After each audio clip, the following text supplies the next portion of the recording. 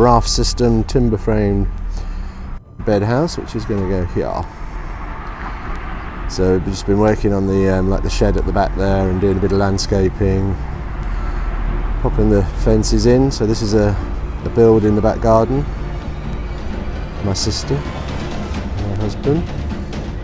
So that's why I get roped in we got the surveyor coming today. This is just roughly marked out so we're going to mark it out properly good tip when you're marking out I prefer to have the um, pegs in the centre of the bucket. You can have whatever your preference is, but what I'm going to do, what I normally do, is pop some rebar, so like a metre or so past, um, just somewhere where it's not really going to get moved or damaged, and you do that wherever you can. And that way, if you lose a peg or a mark, or in this case because it's the raft system, we won't be able to see this and then we've got to build the raft in. So we can then just if we've got these sort of pegs or rebars up against the fence we can then run a string line along said lines and you keep an idea of roughly where you are making sure that the house is going to fit on it. We have to go down a metre over the whole site and then we're going to put the water in the water pipes because we're going to have um, a harvester, a rainwater harvester out there.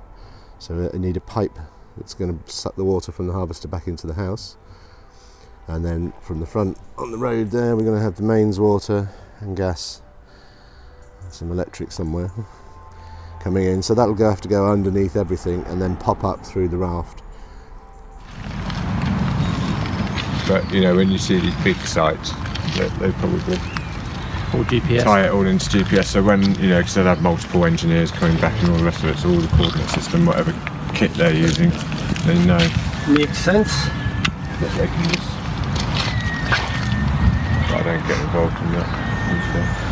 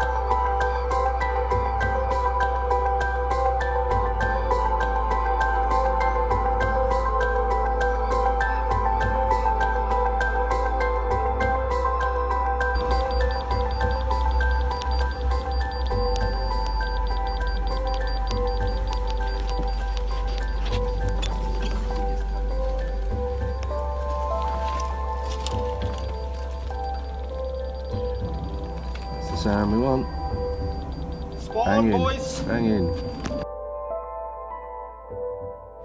Another top tip is when you dig a trench, just put a little water pipe in, but um, you always move your spoil away so that you can walk up and down there without stuff collapsing back in. Um, it's just a much better way of working. So this is to feed the um, mains water pipe into the house. So what's really really important is that you put concrete behind it because as you push the mains pipe in, the last thing you want is that to move, and then you've lost it. And this is a crucial part. So really really important.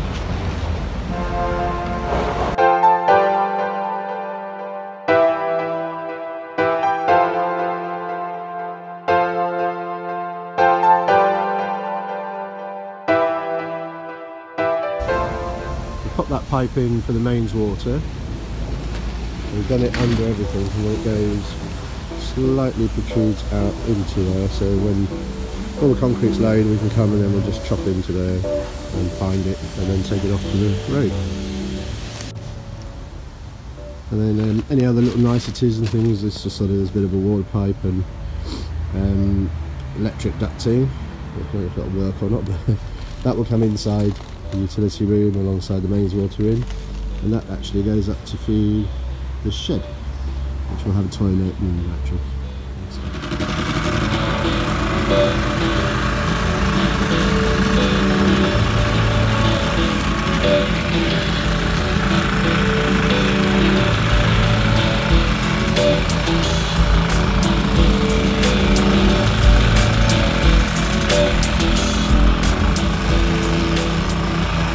You can see where this has just been laid, and then alongside of it, you can see the difference there where it's just been tracked in, and then and then over here is where you can see it's been properly vibrated in. Binds a lot tighter. And you have to do that every 150 mil. Happy days.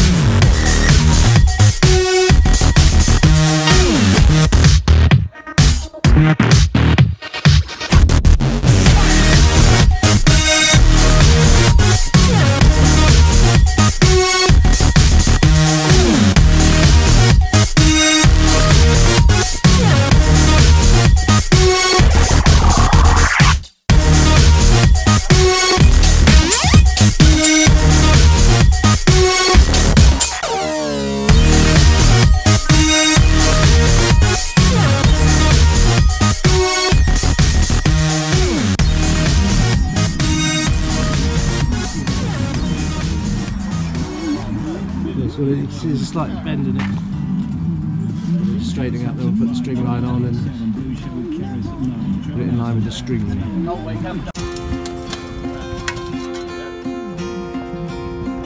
Like go again.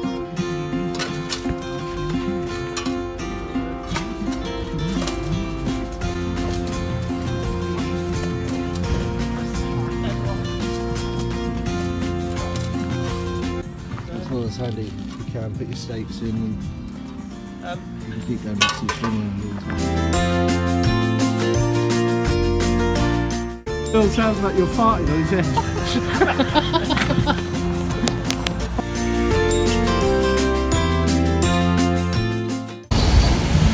This is our boot detail. And it steps out.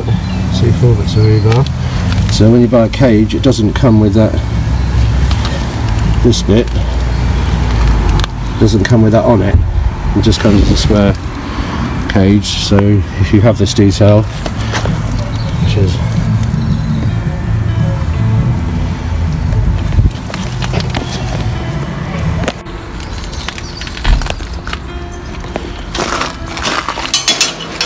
now with your boots it just makes life a lot easier because you just go and slide them on right up to there. See? Does make life a lot easier. You're making up our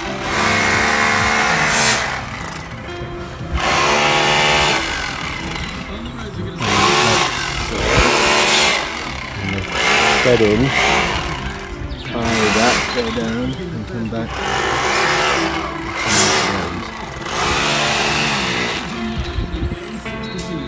Should.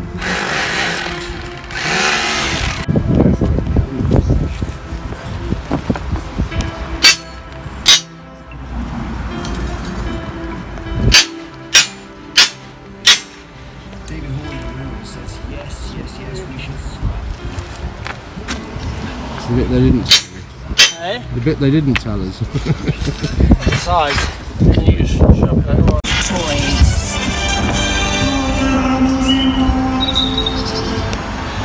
年老一。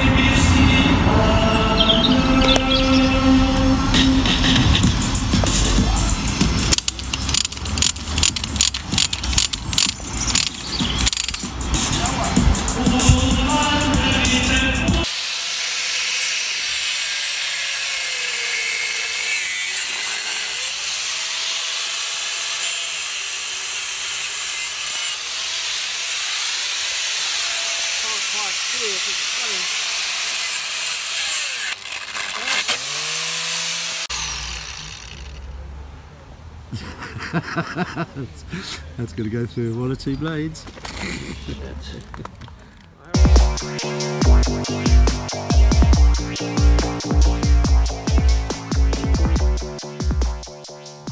Right, better late than never with this. These are the cages I've been putting in. Go all the way around the site.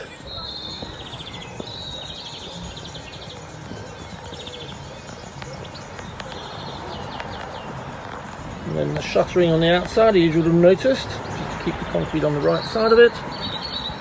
And then I have all that mesh there, which still has to go in three deep seems completely excessive to me and I'll show you exactly how it is going because I did a couple examples just like that. Hopefully that puts you off building for life. It has me